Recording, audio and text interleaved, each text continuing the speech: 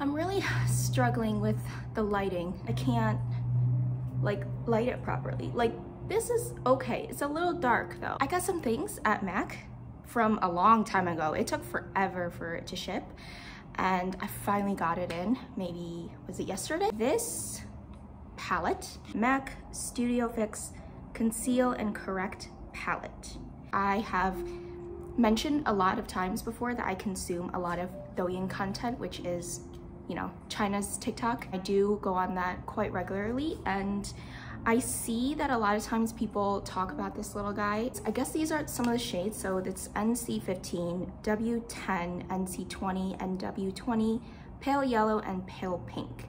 Now I think the pale yellow and the pale pink are supposed to be some of the correctors. To be honest, I'm a little bit intimidated as to how to use this. I've never really gotten a color correct. I got the one in light. I think that they had maybe another version, maybe a like slightly darker version. And I'm totally, let's say acting, I guess, because I already opened all these items. So they're in the box. I put them back in the box to make it look like I'm opening it.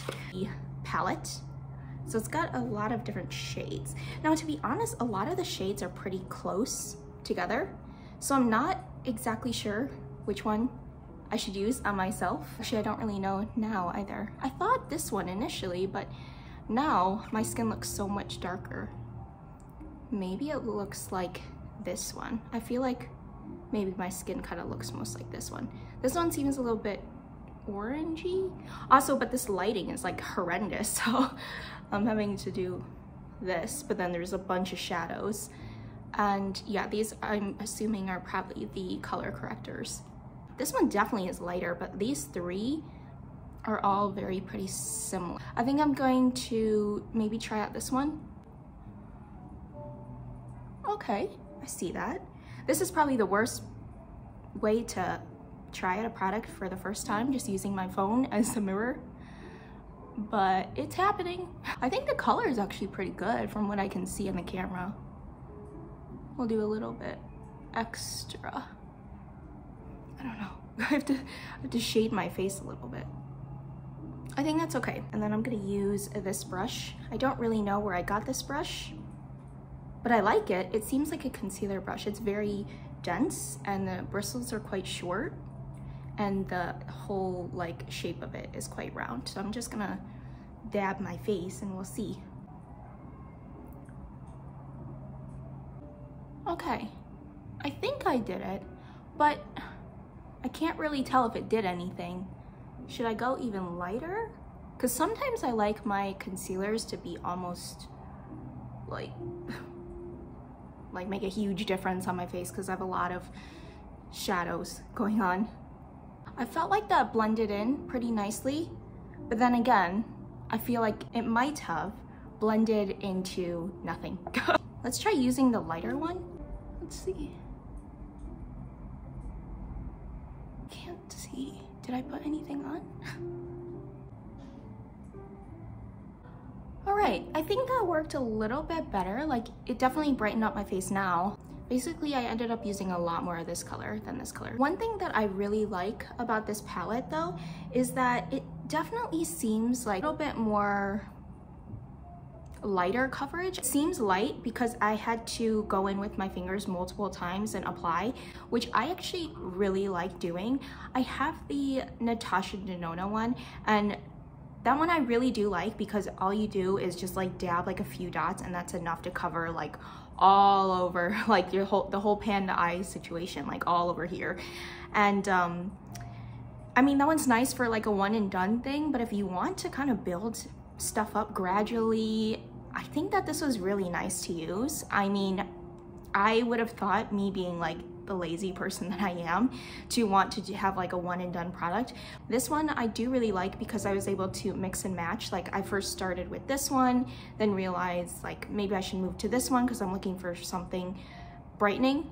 And then uh, I used some of the, uh, I think this one as well because I have a tiny little spot here. I am very excited to keep using this. I did really like the idea of building it up. It's buildable, it seems fun. It's like bringing me back to like kindergarten. You can like mix match colors.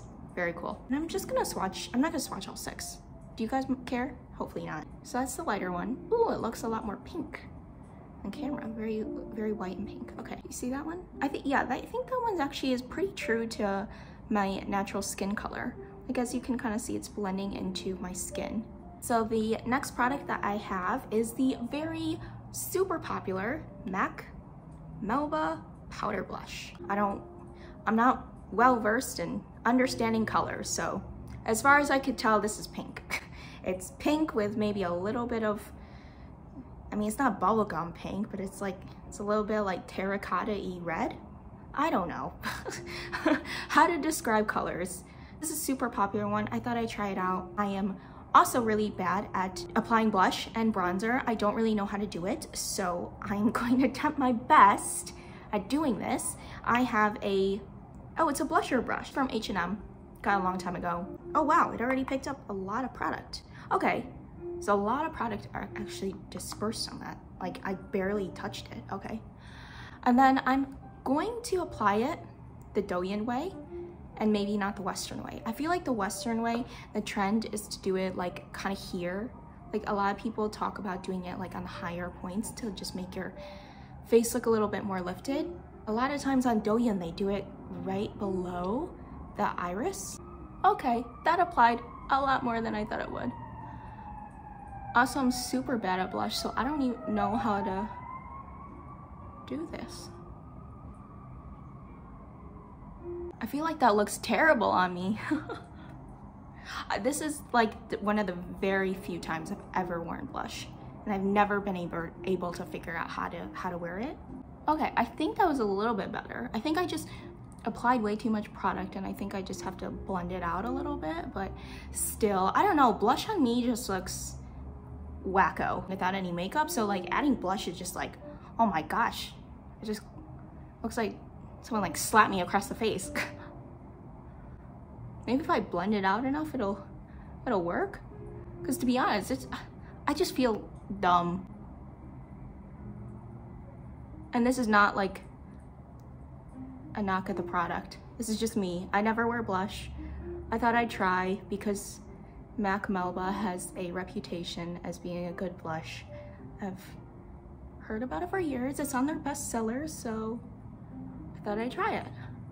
Okay, so I think that's a little bit more manageable. I'm scared to try it on the other side, but we'll try. Initially, when I dipped my brush in this, I dipped it like a couple times, so let's see if, what if we do it like once? Maybe twice. That seems okay. It's pigment pickup than last time. Still looks like a lot actually. Did a better job on this side than this side because I went lighter hand and I used a lot less product. So that might just be me. I didn't realize how much pigment that this had. True to color on the skin. It does look exactly the color on the cheeks. So yeah, you know what? I, I like it, I guess. Let's just finish the eyes. We're just gonna do some lash curling and some mascara. Shiseido. I actually think I got this in Japan when I was there. I thought it'd be cheaper there. I'm actually not sure about that claim, but I did get it. Wow, I actually curled my eyelashes really well today. Can you see? I don't know, usually I'm like pretty awful at them. Like there's always like a piece at the end that just like sticks straight. But the, I think all of them were pretty curled today. The mascara that I'm gonna use is the Too Faced, Too Faced Better Than Sex mascara. I don't know, it's a mini size. I got this in uh, the little Sephora favorites, I think like years ago. Uh, I'm still using it. I know I should throw it away, but hey, hey now. I don't really like the brush though. It's one of these like all over the place brushes. But I do like the way that looks on, on the lashes, so that's nice. But I don't really like how it, it goes. It's kind of very subtle, but it's like an hourglass shape. And I don't like that because I feel like that uh, indent in the hourglass is uh is like hard to use because I feel like my eyelashes just can't reach it. Your lashes look very fluttery and nice. Okay, cool. There's a reason why I have that around after having it for like a year. So the last thing, these, well, uh, they're actually kind of, they're not a set. I did not buy them like together, but they are basically the same item. So they are the other super popular MAC items. They are the MAC Mineralized Skin Finish, and I have the color Lightscape and Soft and Gentle. Again, I put them in the box even though uh, I already opened it. But here's the thing. Here's the thing. Okay, so the box, you can see, it's closed, right? There's, there's no opening at all on it. And then here's the blush. The bl blush looks perfect. It looks brand new, looks great. And then here is the container. The container is not all covered. It actually has this like hole in the middle. So when I bought it, the blush was sitting inside. I opened it, blush looked perfect, looked great, looked fine. But then I get to these guys and I don't know what's happening in their warehouse. So I get this, I open it, looks like this, it's fine. But on closer inspection, my camera is not gonna be able to pick it up, but on the plasticky top front, it's like there's scratches. I don't, you probably can't see it at all, but there's like scratches on it. And I'm just like, oh, well that's, that's weird. It's not like it got scratched by something else, like rubbing against the box because it's inside this covered box.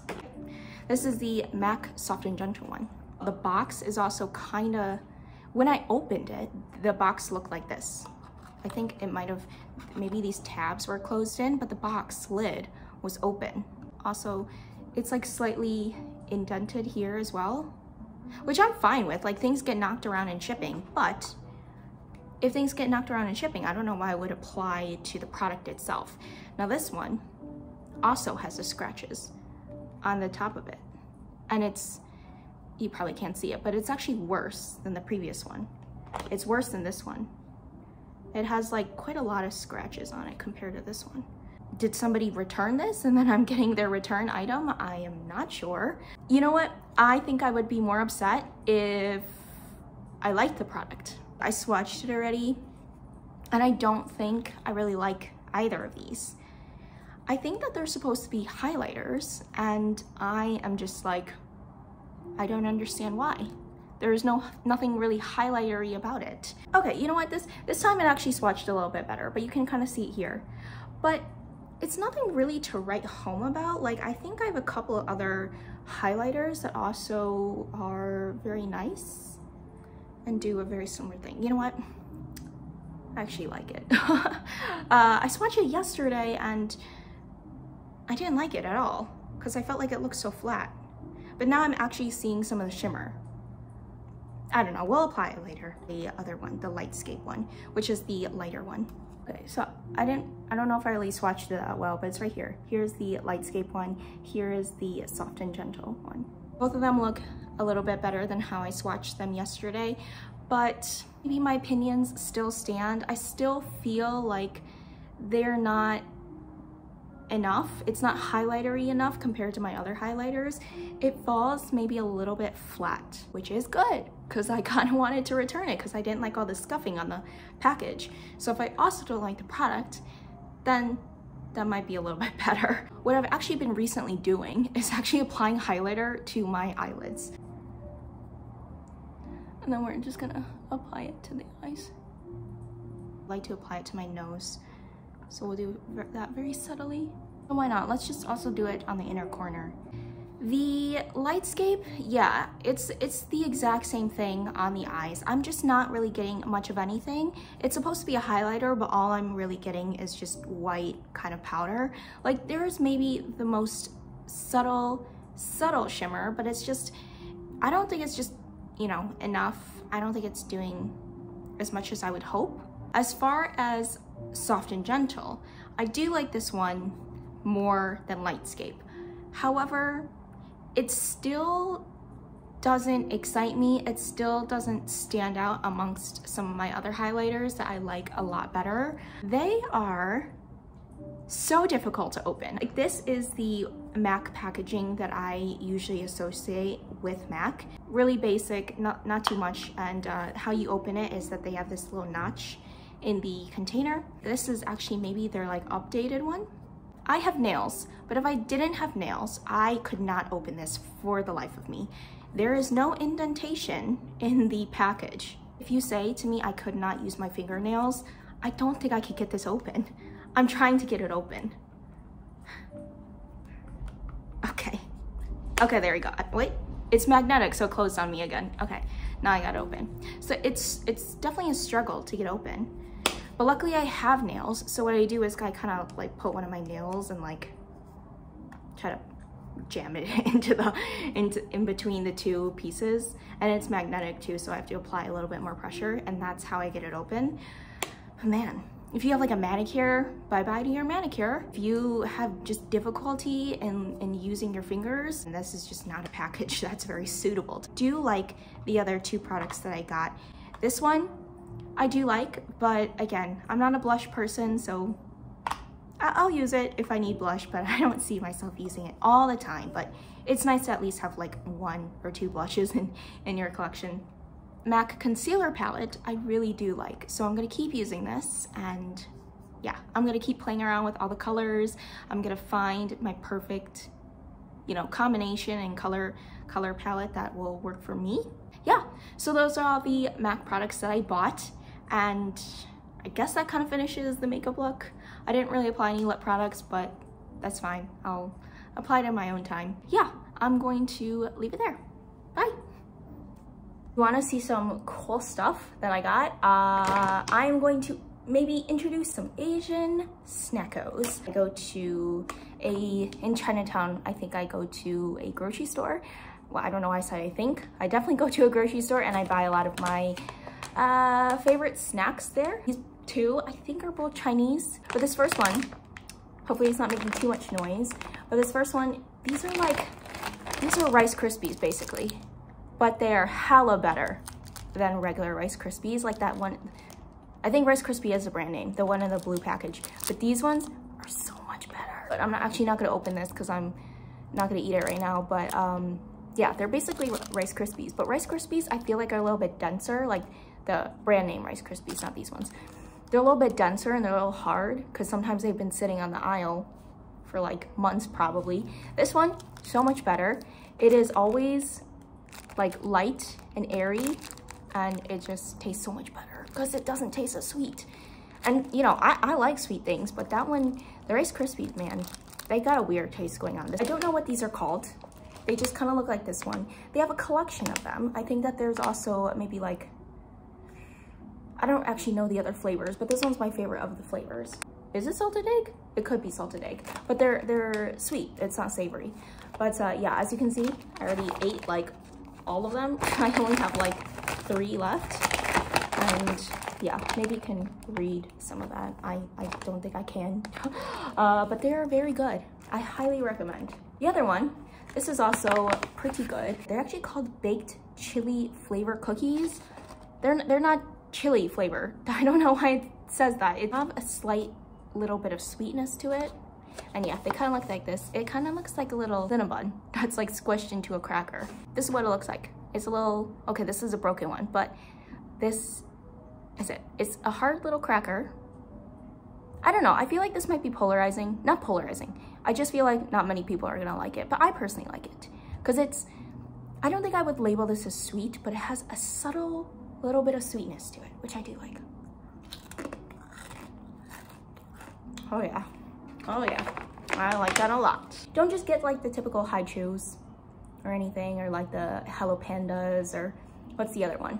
There's a Hello Panda, and then there's the Happy March. The, the one with the koala?